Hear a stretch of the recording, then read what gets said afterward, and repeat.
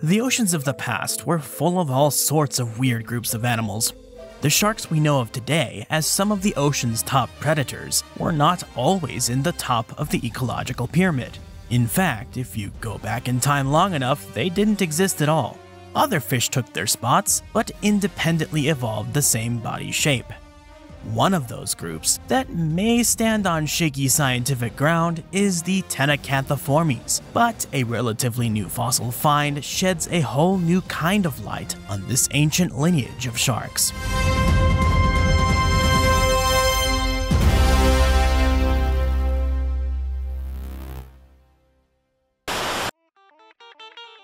All modern sharks, as well as the rays, skates, and sawfish, belong to the huge group Elasmobranchii. The sharks with us today specifically belong to the subgroup called the Selachii, and it has been around since the early Jurassic about 200 million years ago, give or take. However, the cartilaginous fish, the Chondrichthyes group, stretches all the way back to the Silurian period, about 439 million years ago.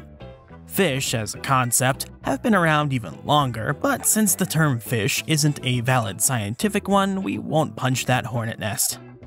The second group of chondrichthyans, still alive today, the holocephalans, filled out a great many niches alongside the elasmobranchs, with famous forms like Helicoprion and Edestus.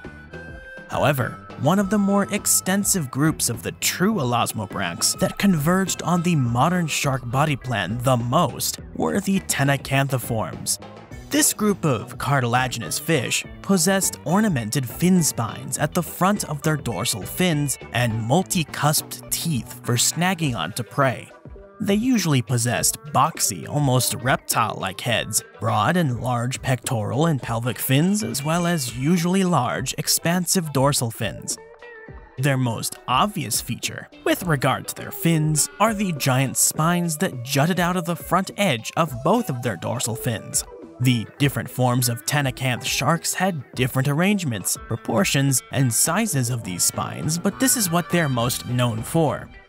Many were average shark sizes, around 1 meter or 2, while some were smaller, but many were also quite large, with body lengths of up to 7 meters 23 feet and weights of 1500 to 2500 kilograms 3300 to 5500 pounds problem here is that this group may not be a natural one. The idea of a ctenacanth group and its relationship to other cartilaginous fish is still debated, in part due to the restricted nature of the skeletal remains recovered to date. The first description of a ctenacanth fossil was that of the Mississippian Ctenacanthus major by Louis Agassiz in 1837, based on a poorly preserved isolated spine described as triangular in cross-section and with long ridges of denticles.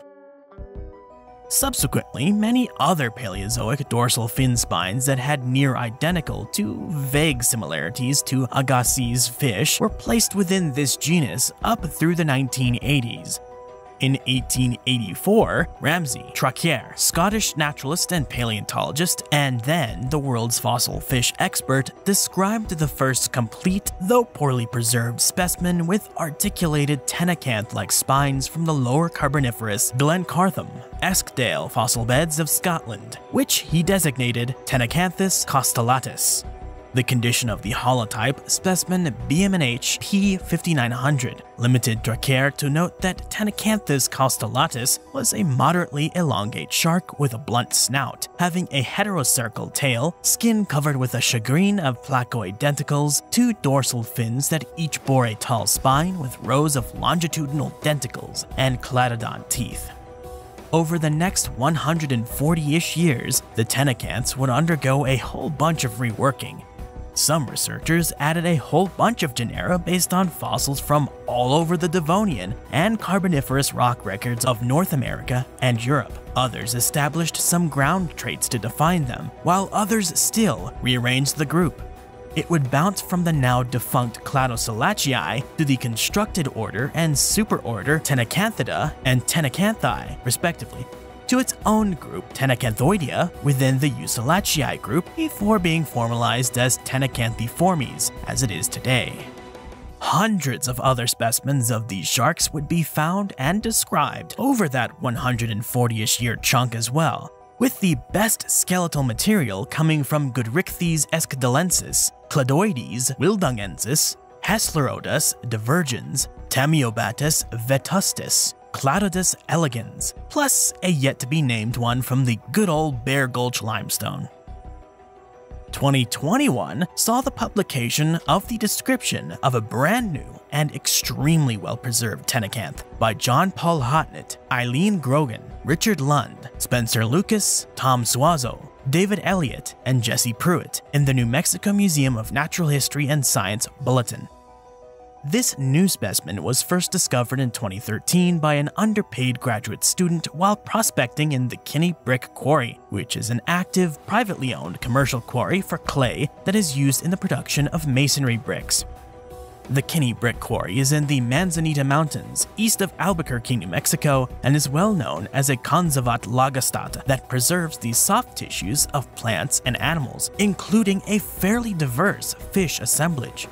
Fossil fish were first reported from the Kinney Brick Quarry in 1975, based on collections made at the quarry in the 1960s by David Dunkle of Dunkleosteus fame and Sergius Mamay. At present, approximately 27 fish taxa have been collected from the Kinney Brick Quarry, which include an acanthodian, 8 cartilaginous fish, 14 rayfin fish, and 3 lobefin fish. Stratigraphy.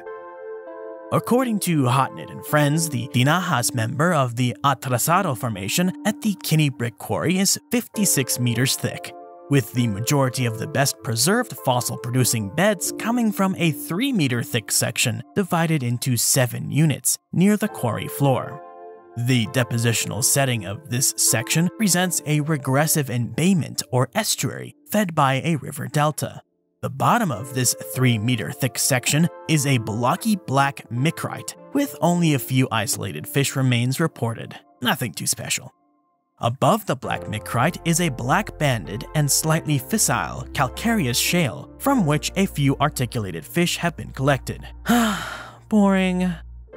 Unit 3 is a fissile, banded calcareous shale ranging from black with orange bands near the bottom that grades to a more orange-dominated shale at the top, where most of the articulated fish have been collected. Ooh, nice stuff. I mean, if you're into fish, I guess. Between units 3 and 4 is a distinct, thin, laminated gray-yellow shale that has produced a number of articulated, well-preserved fish. Units 4 through 7 also contain articulated and isolated fish remains, though they are not as common as in Unit 3. And these upper units consist of gray, soft, calcareous shale with very well preserved plant fossils, if you're into plants, I guess. The new shark described in the paper was collected from the thin, laminated, gray-yellow shale between units 3 and 4, the Kinney Brick Quarry is estimated to be of late Carboniferous, or Pennsylvanian, or Missourian, or Kasimovian age, based on the stratigraphic positions of the rock layers within it and the fossils found there. So, about 307 to 303 million years ago, give or take. The creature. So, the new shark, specimen NMMNH-P68537, or Goji as I think we should call her, is a nearly complete female skeleton preserved on its side. Its body outline is preserved as are some minor bits of soft tissues. Not really enough to see organs or anything, but all of the gushy bits are there. The team decided to name the new shark Dracopristis hoffmanorum, from the Latin Draco, meaning dragon, and Latin pristis, intended to mean shark, though some have pointed out that it is often translated as saw, indicating its use as the second half of most sawfish names. However, the root can be either saw or shark depending on who or what you cite, so it doesn't really matter. The species name is in honor of the owners of the Kinney Brick Quarry, Ralph and Jeanette Hoffman.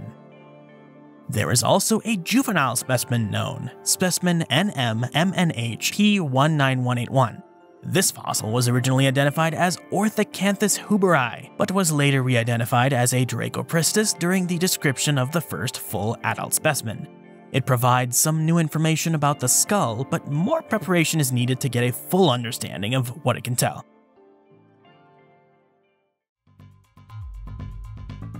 Let's bring in Mr. Man from Animal Planet's The Most Extreme to get an idea of how big Dracopristis was. Dracopristis was a medium-sized ctenacanthiform shark with an estimated body length of 206 centimeters, 81 inches, 6.75 feet, or 2 meters. Very cool. Thanks, Mr. Man. All the skeleton is articulated or nearly articulated in life position. The forms of the body, the pectoral, pelvic, anal, caudal, and both dorsal fins, are preserved from the placement of the dermal denticles or impressions of the fin bones. When all of the bones are reconstructed and put back together in their original placements, this is what you get. The dorsal fin spines were absolutely massive. The spine of the first dorsal fin was massive and rather recurved, sickle-like, and extended beyond the extent of the fleshy fin. In life, the dorsal fin would have been a big ouchie. The spine of the second dorsal fin was only slightly recurved and didn't really stretch past the soft tissue of the fin itself, much less of an ouchie. The skull was short and boxy, with a series of toothy conveyor belts well stocked with bizarre crown or tiara-shaped teeth that had a decoration of grooves and ridges. The teeth of Dracopristis are what is called the homodont condition. All of the teeth are the same shape and differ only in size. Unlike some other ctenacanths, Dracopristis' teeth were not as heavily adapted for just snagging onto prey items, as the cusps of the teeth are not tall and thin. Instead, these things look like crushers and shearers, being short, fat, but bladed. Overall, a devastating predator. The anatomical features of the skeleton and soft tissue of Dracopristis offer some clues in terms of its ecological role at Kinney Brick Quarry. Dracopristis had large pectoral fins that were what is termed aplesiotic. This means that the cartilaginous supports, the bones of the fin, did not extend throughout the fleshy bits of the fin. These fins have been attributed to living sharks that tend to be slow cruising pelagic and benthic sharks that use them for accelerating or maneuvering. Other ctenacanths such as Ctenacanthus concinnus and Glencartius have smaller plesiotic pectoral fins, which implies adaptations for fast-swimming pelagic sharks. Dracopristis may have been a more specialized benthic or shallow pelagic shark. Dracopristis could mark the first appearance of a benthic specialized ctenacanth within the entire Ctenacanthiformes, but a more detailed ecomorphological profile is needed for the Ctenacanthiforms to evaluate this possibility. The Kinney Brick Quarry locality represents an estuarine, lagoon deposition with brackish shallow waters. Evidence of the truly large sharks, such as Glikmanius occidentalis, is pretty much just some dinky teeth. Some researchers suspect that this other ctenacanth was actually just a visitor to the Kinney Brick Quarry Lagoon from more marine habitats. That might explain its rarity.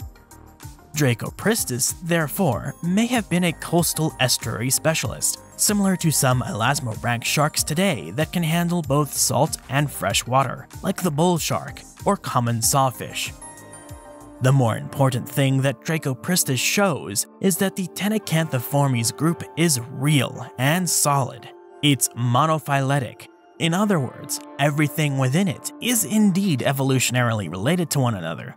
The Hodnett team also found that the Ctenacanthiformes is a sister group to the Euselachii, can you imagine one of these things cruising around being all dopey looking? Truly a sea puppy worthy of the title, Godzilla Shark. For more interesting stories about nature, the history of life, or what goes bump in the night, subscribe, like this video, drop a comment in the comment section below, and hit the bell icon to stay in the know with everything Edge. Thanks for watching.